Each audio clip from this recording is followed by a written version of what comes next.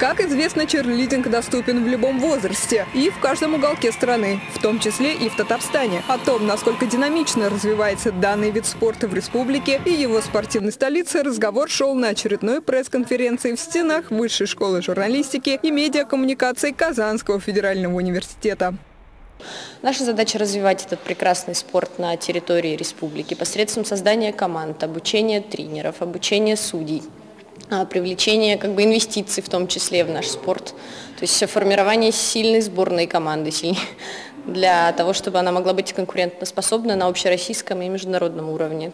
Главными спикерами встречи стали президент и вице-президент Федерации черлидинга в Республике Татарстан. Разговор с представителями прессы и студентами Высшей школы журналистики начался с хорошей повестки. Спикеры объявили, что в воскресенье 12 февраля Федерация черлидинга Республики открывает свои двери всем желающим на отборочный турнир на формирование команды для первенства России. Данный чемпионат состоится 24 и 25 февраля в Москве.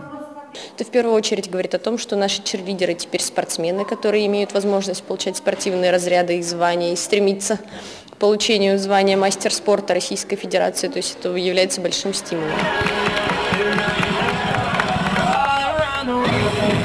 Столь зрелищный вид спорта, который сочетает в себе элементы шоу и акробатику, изначально был придуман американскими студентами. Считается, что самые популярные девушки университетов, колледжей и школ обязательно должны проявить свой талант и грацию в черлидинге. В разное время среди черлидеров были такие звезды, как Мадонна, Мэрил Стрип, Сандра Балок и другие. Красивую звездную традицию с удовольствием поддержали и казанские тинейджеры.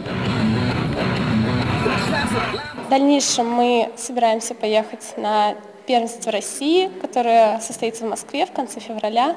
Вот. Будем также развиваться, достигать новых да, целей. очень хотим попасть в международные старты, так как у спортсменов самая главная цель добиваться своего, так как мы такие целеустремленные, э, и очень хочется и мастеров спорта выполнить. Многие ошибочно полагают, что черлидинг нужен исключительно для обеспечения энергичной группы поддержки для спортивных соревнований. Однако это заблуждение, причем весьма ошибочное. На сегодняшний день черлидинг уже не привязан к различным спортивным событиям, а является самодостаточной единицей со своей ассоциацией, чемпионами и невероятно развитой творческой танцевальной составляющей, превратившей выступление черлидеров в настоящее шоу. Адель Шемилова, Андрей Багаудинов, Универньюз.